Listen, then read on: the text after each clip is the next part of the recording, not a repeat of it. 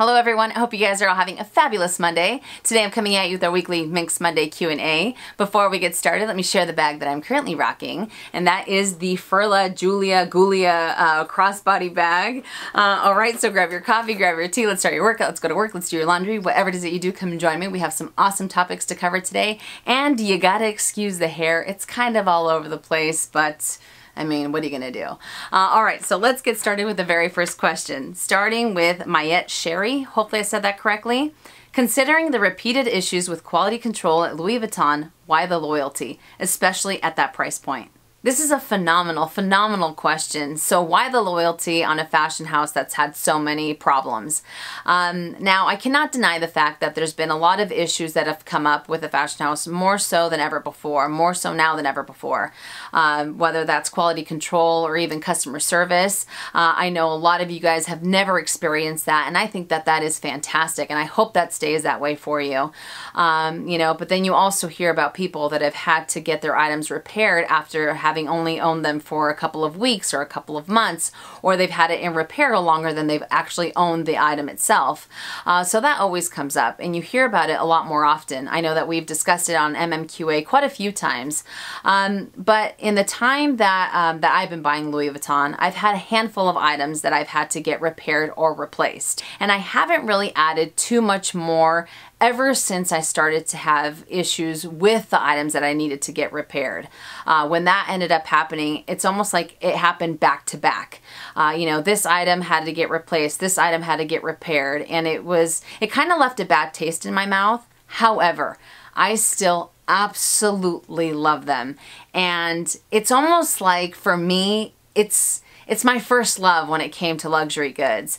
And it's it has a very very soft spot in my heart kind of like coach does. I will always appreciate it and i'm always going to root for it. It's almost like even though i know it does have quality control issues and this is going on you hear about all you know all of the all of the problems all of the issues i'm still on the sidelines still rooting that they are going to come back that their quality is going to be better than ever before and that all of these issues are going to be a thing of the past. That might be wishful thinking on my behalf. Some people might think that's absolutely ridiculous for me to see it that way. To be completely honest, I don't want to break up with Louis Vuitton. I might take a break from Louis Vuitton, but I do not want to take I don't want to break up with it. You know, I I I I don't know. I just I love it. And I've said it before, sometimes when I go into the boutique, I feel like like I'm at home. As crazy as that sounds, judge me all you want. I don't care. But when I'm there, I feel so comfortable as opposed to going into other fashion houses that I'm not as comfortable. It's almost like I'm visiting, I'm hanging out, but it's not like I can be myself 100% if that makes any sense. But when I'm at Louis Vuitton, it's completely different. It's a completely different experience that I love. Even if I don't buy something, I like going in there and seeing the new products and um, I don't know, just getting to know more about the more about the brand. So maybe I'm crazy, but that's why I have so much loyalty for it. I am still rooting that it will come out from wherever, you know, whatever's going on with it. And um, I, I strongly feel that that's going to happen with Louis Vuitton, especially because they've been around for so, so long. They have the history, they have the product, you know, and uh, I think, um, I think it'll happen. I think it'll happen. So wishful thinking, maybe I'm crazy, maybe I'm looking into it too much, but I will never break up 100% with Louis Vuitton. but I would love to hear your guys' thoughts on this question. Why the loyalty? This brings up a very good point uh, because, like I said in the beginning, I cannot deny some of the things that have gone on with it, some of the things that I personally feel they would really benefit from improving. But at the end of the day, Louis Vuitton will always have my heart. So fantastic question and hopefully I was able to answer it. Next question from DDP. How do you keep your Celine Nano clean on the inside? I just got mine and I find some things like paper bits stick to the interior. Uh, great question, but first and foremost, congratulations on your Nano luggage tote. I hope you love it as much as I do. Uh, okay, so since the, uh, the luggage line in general does have the suede interior, uh, it can get very it can get dirty very quickly. Um, it's almost like it attracts lint like crazy. absolutely like crazy. Uh, I know some people have used, um, what's it called, uh, bag organizers in this so that that way they don't have to worry about any of the any of the lint getting stuck to it. Um, I don't use a purse organizer, not that there's anything wrong with it, but I do think it will definitely add weight to this bag since it is an all leather bag. Uh, but I don't really, um, I don't really clean it out when I see those little bits while I'm using it. Only when I go to store it, then I will take a, um, what's it called, a, uh, a lint roller to it. I'll lightly go through it and then I'll pick up whatever bits I can with my hand and then I put it away. So while I'm using it, it is what it is. It attracts it like crazy. Sometimes I'll see them like on the sides really bad and then I'll be able to pick those off. But um, yeah, only when I go to store it is when I try to clean it up as much as possible. But my Phantom, um, my Phantom between the lint and sometimes even the scratches because of the suede that it has, you're able to see them a lot more versus versus a lighter colored interior like the, uh, the Souris that I had in the mini luggage. So yeah, those little bits can get a little, can get a little, um, some of them are kind of stubborn too. Like they just stay there even if you try even if you try to take uh, the lint roller to it, sometimes it won't come off. But that's all I do. Just do it. Uh, just go through it after or right before I go to store it. So hopefully that was able to answer your question. Uh, all right, next one from Anel Lewis. Uh, what is your opinion on MCM? Is it considered a luxury brand? Would you add any MCM pieces to your collection? Fantastic question. So what is my opinion on MCM? Um, I've always appreciated them, but I kind of fell a little bit more in love with them on my recent shopping trip. Um, I've never... Um, I've never thought twice about necessarily adding it to my collection. Like I said, I've always appreciated it, but then this last week when I was able to kind of interact with it a little bit more and try out a few things, I tried out the Weekender in this hot, hot pink with black trim. I thought it was super cute. Uh, I decided to pass on it only because I have three Keepalls and it's the type of item that I would only use when I travel, you know what I mean? If it was a tote, it would be completely different because it's something that I can incorporate into my into my lifestyle a little bit more. Um, but I really like it. The the overall feel of the of the canvas, the overall feel of the leather, and some of the details that they have, I really, really, really like it. Uh, so I think I want to add a card holder first, just to see how it ends up working out for me but uh, some of their totes are fantastic and they have great price points as well. So I really do applaud them for that. And are they considered a luxury brand? Some people consider them luxury, other people consider them uh, contemporary. It's, it's kind of like it's right in between, uh, but I think that they're great nonetheless. So would I add a piece to, to my collection? Absolutely I would. A card holder or um, their card holders or even their full zip wallets. Those are those are really nice too. I think they retail for like 350. Uh, and on my Insta stories, I had a lot of you guys tell me you've had great success with your MCM pieces. A lot of you definitely recommend them. Some of you had said that you've had them for like five, six years, no issues, no cracks, nothing like that. So I think they're pretty amazing. So don't be surprised if you see an MCM piece in my collection anytime soon because it definitely, um, I definitely have a a, um, a bigger appreciation for them now than I did before. So yes, love MCM. Uh, all right, next one from Steph Winters. Will you be doing another Bags I've Sold and Why video soon? Uh, fantastic question, and uh, I'm not too sure. Um, I think the last time I did one was probably about a year and a half ago, maybe something like that. I think it's high time I do another one.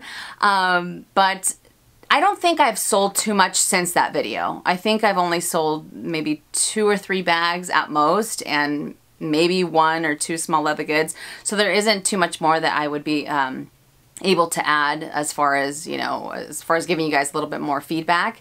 Um, so I think, uh, I think I will definitely think about doing one uh, sooner than later but people get crazy on those videos. They get so crazy and not that that's going to deter me from filming it, but the the comment section is always so so negative, you know, because people think like you're it might be something that they absolutely love and if it might not work out for me then I tell people it's because of this or because of that and um, they get they get defensive. They get so defensive, and I completely understand that. But at the same time, different strokes for different folks. You know, just because a wallet on chain is one of the best purchases I've ever made from Chanel doesn't mean it's going to be the best purchase for someone else. You know what I'm saying? So uh, it gets, I don't know, it, it's not the funnest video to film. You know, because it's almost like the minute that I start talking, I already know that that I have like the evil eyes and people just uh, not happy with what I'm saying about the item. But at the end of the day, I am all about giving information and just sharing my two cents about any item. Um, and um, yeah, I think I will definitely be doing one soon probably within the next month, maybe month and a half, something like that. Uh, but yeah, so hopefully that was able to answer your question. I feel like there's something in my eye and it is driving me crazy. So if I start winking out of nowhere, you know why. uh, all right, moving on to the next question from Stacy R. Do you think it's fair to block and delete comments both on YouTube and on Instagram? Some people just want all positivity all the time and they shouldn't. Whatever happened to being able to voice your opinion without having someone shut you up? Uh, this is a great question and I know that this has come up on my Instagram account quite a few times and some of you might disagree with what I'm about to say and that's totally fine. Um, but while I do see your point, I am going to have to respectfully disagree. And the only reason I say that is because I block and delete all the time and I am proud of it. Uh, and um, it's not necessarily for myself wanting positivity all the time. I know that people aren't always going to agree with what I say and people aren't always going to love what I unbox or what I show and that's fine because I mean it just it's not it's not going to be that way and um, when someone does put things like that on the comment section I'm always like no worries you know to each their own I hope you find something that you love blah blah blah something like that but I'm never never mean or rude when someone says those comments. You also get the ones that are just absolutely 100% and completely ridiculously disrespectful those comments, that's where I draw the line. And that's where I will start blocking and deleting, blocking and deleting, you know, because it's almost like someone coming into your home and disrespecting you and you being like, well, it's okay, it's your opinion. No, that's not okay. That's definitely not okay. I'm a grown woman. You know what I mean? I'm not going to go toe to toe with someone. I'm not 12 years old. I'm not going to go to toe to toe with someone. I'm not going to explain myself um, to someone that already has an idea of me, kind of like what I talked about last week. It's not going to happen. I've had people, you know, on those same comments that are just like, "Oh my god, your your laugh is so annoying. Can you stop laughing? It's so stupid." blah blah blah blah blah. Like that's neither that's not constructive and that that's not that's not a nice comment, you know what I mean? And it's like okay, I can't change the way that I laugh. And I've said it before, I will never change for the cameras. Who you see on camera and who you see in real life is exactly how I am. And well, granted, I might be a little bit more, a little bit louder in real life. I'm always very conscientious of the microphone when I, whenever I'm filming. Uh, but I'm the same person and I'm not going to change for YouTube and I'm definitely not going to change for someone that's going to be that obnoxious on my channel. So hopefully that was able to answer your question. Next question from Kimmy Lochfield. Hopefully I said that correctly. I always imagine taking my Louis Vuitton handbags on work trips or on vacation, but I worry about them getting damaged on a flight or bad weather. How do you decide if or when you're going to bring one of your bags? Uh, this is a great, great question. And uh, when it comes to travel bags, there's a few different things. Uh, first and foremost, I always like to go for the all-weather type of leather. Uh, the one that you don't have to think twice about rain, about snow, or the, you know, like if you're leaving from sunny California and if you're going into, into rainy London, I don't have to think twice about the type of bag that I'm carrying. So that's definitely one thing. And also, sometimes I like to dub certain handbags as travel bags. Uh, perfect example, my Louis Vuitton Neverfull MM in the Damier Azur. I love that bag. I rocked it to death. And now I kind of uh, tend to use it more as a travel bag because of the color transfer that it has. And it's one of those things that once I kind of have that in my mind, it kind of helps me get past if I was to to to get any more beauty marks on it. If I was to get any more um, wear or any more color transfer or anything like that, it really helps me kind of um, not think twice about how I'm carrying it or where I'm carrying it and it's it's almost like it is what it is type of thing, you know what I'm saying? Uh, I've been able to put the, the Neverfull on the conveyor belt, I've put it on the floor, I've, I've set it on all sorts of places and to be completely honest, I almost enjoy it that much more because I don't have to worry about it. It's very, very carefree, considering it's a type of print that is not known for being very carefree, you know? Uh, so that's what I like to do. Um, I definitely try to go for the type of leather that um, I don't baby, I don't think twice about, and uh, just dubbing certain handbags, the, the travel bags, and just going with the flow. And if it gets more beauty marks, then it just adds to the character of the bag type of thing. Uh, but you usually um, I end up going for caviar pieces from Chanel just because, again, it's very, very carefree. I love it. And also Damier Ebene. Those two are the ones that end up sticking out on top. But like I said, one of my favorite travel bags is the Damier Azur. You know, like lot, I'm sure a lot of people wouldn't agree with that, but um, it really, it just makes me happy that it's not, you know, it's not your, your norm for a travel bag as far as the type of print, but um, I, I just love it. I love traveling with it. So hopefully that was able to answer your question. Next question from June Bug. Where do you research a bag that has little to no videos on YouTube? What other forums do you use? Any suggestions? Uh, this is a great, great question. And uh, when it comes to especially new bags that uh, don't have any videos, uh, I like to go on uh, the Purse Forum because sometimes a lot of people on there have some fantastic information either about details or even information that their sales associates passed on to them.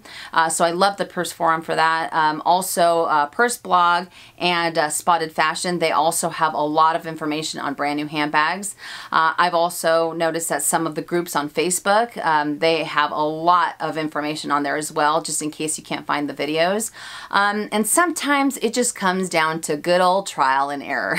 Um, but I agree, sometimes when it comes to um, when it comes to any bag, YouTube videos make it so much easier to get the good, the bad, and the ugly on any bag that you're that you're thinking about uh, adding to your collection because you get to see it, you get to see, um, you know, you get to hear the people talk about the, the details that they love or that they don't love. So it makes it a whole lot easier. But other times, uh, those are the forums or those are the uh, the websites that I like to go uh, that I like to go to uh, just to get a little bit more info. Sometimes I've said it before, sometimes I will go on Instagram and I will like hashtag whatever bag I'm looking for. Um, and if there's nothing on any of those forums, on anything, on any other website, and if I find that someone has them or has that item, I, I, will go on their Instagram and I will ask them, hey, what do you think about this bag? Or whatever it is. Sometimes, sometimes I think people think I'm a creeper, which I completely understand. Uh, but I just, I want to get the, I want to get the 411 on the bag, you know? So that's what I'll do. Sometimes I'll resort to being a complete creeper. And I'm okay with that because if I want to add a bag to my collection, I want to know a little bit more about it, especially if that person can let me know, hey, you know, it didn't end up working out for me or I wasn't crazy about it because of X, Y, and Z or what have you. So yeah, those are some of the things that I like to do uh, when it comes to an item that has no videos or there's no information out there for, uh, you know, to, to find out the good, the bad, and the ugly. So hopefully that was able to answer your question. Next question from Laura Rivs. Hopefully I said that correctly. What are your opinions on Mon Mono? I'm dying for a Neverfull, and besides the never-ending decision of MM versus GM, I'm now considering the Mon Mono. My dilemma is that it doesn't quite make my heart sing like the plain Jane Louis Vuitton canvas version. What are your opinions? Do you regret your Speedy Mon Mono purchase? Any thoughts are appreciated appreciated? Uh, this is a fantastic question. And when it comes to Mon Mono, I'm a big fan of it. Um, I absolutely love it. I like the fact that you can personalize it to a certain extent. Of course, they do have uh, a select amount of colors to choose from, uh, but you can choose the stripes. You can also change the interior of the bag, which I am all about. Uh, but here I have my uh, Speedy 30, my classic in the Mon Mono. Uh, and this um, does have the, the fuchsia and the blanc. Uh, but I, I love this bag. I think it's super cute. Uh, I really like the fact that it's kind of started to oxidize a little bit more. It's almost like that honey golden color, and I think that it really complements the two colors that I chose. Uh, but, but, I have not used it as much ever since that guy came into the picture. Ever since the Speedy B25 came into the picture, I think I've used this bag maybe once or twice in that entire time. I still love it. I still think it's fantastic. I, I love, absolutely love that bright pink interior um, that I chose for it but it's almost like I knew in the back of my mind that once I had another Speedy monogram, regardless of it being a bandolier or not, and regardless of it being a smaller size than the 30, I had a feeling that one would kind of take the, the, the place of another type of thing. But when it comes to the Neverfull, um, I don't know, it all depends. If um, if you're a really big fan of a certain color and that's like your signature color, then I say go for it, especially if you like, uh, if you want to change the, the interior of it, kind of like I did with, the, with my Speedy. I think it's great. But if there's the slightest possibility that you might like the color at the moment and then let's say in six months time or a year's time, you're kind of um, over that color or you're not crazy about the combination anymore, then I would end up going for, um, for the beige one because the beige interior goes with everything Um, it's almost like you, it's, it's one of those things that you don't have to think twice about type of uh, situation. Uh, but if there's the slightest doubt that maybe you will fall out of love with the colors, I would go for that one. But at the same time, if you just want to live in the moment and add a nice pop of color to a beautiful monogram bag, then absolutely go for the Mon Mono. So I don't know if that helps out or not, uh, but like I said, um, I have not used this bag as much um, ever since that, that bad boy came into the picture. But if I didn't have that bad boy, I would still be using this. Um, so maybe I need to give this bag a lot more love. Huh. I'm not to get rid of it. I know at one time I thought about getting rid of it, but I'm not because I think it's I think it's too cute. Plus it has my initials on there, you know what I mean? So hopefully that was able to answer your question. Next question from Cindy Cochran. Have you seen the Urban Companion from Chanel? I tried it on when I was in Las Vegas, but the color options were limited, and the chain drop was a bit short for me. I was very sad as I love the inside setup with the three sections. I have the Louis Vuitton Pochette Métis and I love that bag. And the Urban Companion was similar. Thoughts? Uh, this is a fantastic question and when it comes to the uh, Chanel Urban Companion, unfortunately I don't have a picture to share with you guys. Uh, if I can find one in the meantime, I will put it on the description box below so you guys can check it out. Uh, but the Urban Companion comes in a few different sizes and I know that they've kind of changed a few of the details depending on the season, but it ranges anywhere from 3100 to 3400 or maybe 3600 somewhere along those lines, if I'm not mistaken. So please don't quote me on the price point. Um, but it kind of reminds me of the Chanel Rock in Rome bag because uh, the only thing is that it's almost like it's a perfect square for those of you that haven't seen it. It's almost like it's a perfect square. It does have the sections that are very similar to the Louis Vuitton Pochette Métis like she had mentioned. Uh, and I don't know, this bag fits a lot more than you would think. And I know that they had like a wallet on chain. Um, uh, similar one that came out and you can fit so much more in it so I think it's a great alternative to uh, to a bigger bag if you are the type that doesn't want to carry too much with you it has a phenomenal price point it's all leather I do believe it does have the textile lining and it also comes with a, um, a little leather strap in between the chain so that way it makes it a little bit more comfortable and you don't have to necessarily worry that the bag is going to fall off. Uh, so I'm not too sure on the strap on the strap drop like you mentioned. Um, I think some people have mentioned that's a little bit on the shorter side, uh, but overall, I just I really like it. I don't know, but the fact that you can fit so much more in it, it has the it has the dual grommets on the top, so you can kind of um, change out this not change out the strap but you can change uh, how the strap looks on you if you're trying to go for a different look. I really do like that. And uh, again for the price point that it has and what it offers I think it's a really great option if you are looking for um, if you're maybe not a fan of classics, um, of the classic double flaps or anything like that, and you still want to be able to carry a little bit more with you, but not have it be such an overwhelming bag, I definitely think that this is a great, great choice. Uh, so hopefully that was able to answer your question. Next question from Lana Cogshaw. In your opinion, which holds its value better, Epi or Empreinte? I'm specifically thinking about small leather goods, but I would love to know your thoughts in general. Uh, this is a great, great question. And when it comes to the better resale value between Epi and Empreinte, I have personally found that Empreinte holds its resale value a lot better than Epi does, which is kind of funny considering how carefree and virtually indestructible Epi leather is because of the texture that it has. Uh, some of you guys might have experienced the opposite, but just from the items that I have sold in the past, um, it, it's almost like they took the same type of hit as vernis pieces do in comparison to the Empreinte. Uh, and I don't know if it's necessarily, when it comes to the small leather goods, I don't know if it's necessarily just because um, maybe uh, some people might like the softer leather on the small leather goods, or um, maybe just they like the, the texture of it. That could be something. But when it comes to the handbags, I think that it's really because they're a little bit uh, more comfortable because they don't dig into your shoulder as opposed to maybe some of the Epi pieces um, that are out there. I'm not saying that all of them, but most of them uh, might not be as comfortable as the Empreinte is. Uh, and if you think about it, when it comes to the canvas version of the handbags, monogram is always the most popular, even though, for example, Ebene was the first one that came out, right? So I feel that it's almost the same thing when it comes to leather pieces. Uh, people maybe are a little bit more fond um, of the embossing. It just maybe adds a little bit more to the bag. It's a little bit, it's it's almost like it has a little bit more of an appeal to it. That's just, I mean, this is just my, my own assumption. That could be, I could be completely wrong. I have no idea, uh, but that could be the case. So it's a little bit softer. It's a little bit more comfortable when it comes to handbags.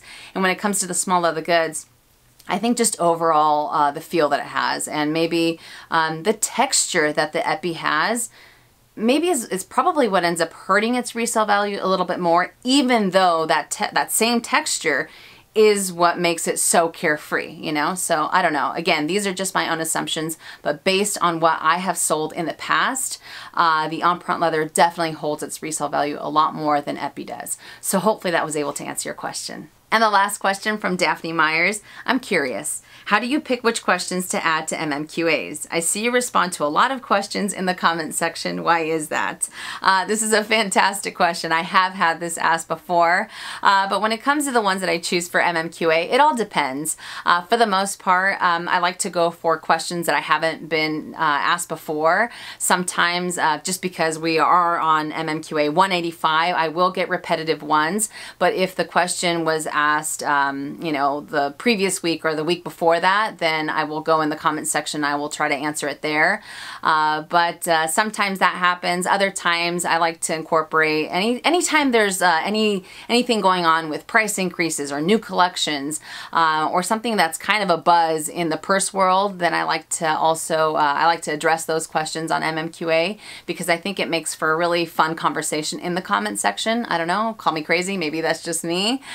Uh, but other times I've also gotten questions from uh, from Instagram because I do get quite a few on my posts. So I try to I try to answer those as much as possible as well. Again, if it's something that hasn't come up in the past, um, but I try to I try I try to think like if someone was to watch MMQA every single week and if it ends up coming up too many times, and I think that um, it might be a little too repetitive, again, I know that's going to happen just because I have been doing this for a little while. Uh, but I just try to add a little bit of variety on there and also being able to still give you guys as much um, as much information as possible or to give you my opinion on whatever it is that you're asking. Uh, you know, so when it comes to the comment section, I am always in that comment section more so than any other video that I do. Um, I'm really bad at responding to comments on other videos. I do read them, but when it comes to MMQA, I don't know what it is. It's almost like I just, it's almost like there's this instant connection. I don't know. I have no idea, but I look forward to all of uh, all of your guys' feedback, all of your questions, especially if it's something that you're looking to add to your collection sooner than later.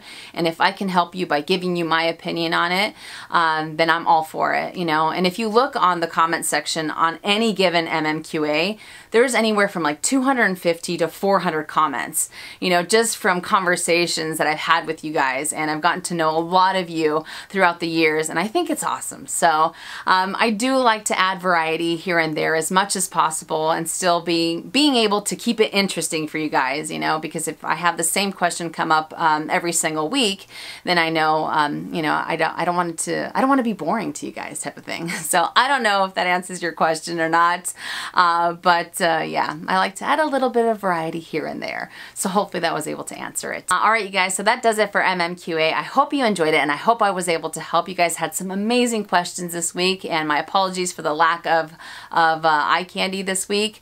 Uh, but for the lineup, um, I'm thinking about doing a review on the Dior Cruise wallet because I have used it quite a bit and um, now I feel that I have the good, the bad, and the ugly that I can share.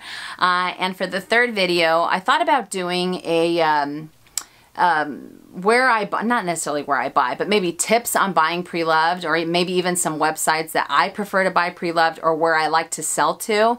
I know I've gotten a lot of questions throughout the last couple of months, throughout the last couple of years on that specific topic. I did do a video on it I think, 100 years ago. So I think uh, I think it's time to, to revisit the topic.